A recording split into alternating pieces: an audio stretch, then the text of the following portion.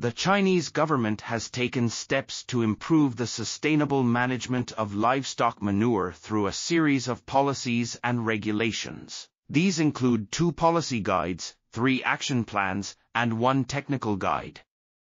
Additionally, requirements for manure pollution control and recycling have been included in three revised environmental laws livestock manure utilization has increased from 70% in 2017 to 75% in 2020 and 90% in 2035. However, further improvements are necessary to reach the target of 90%.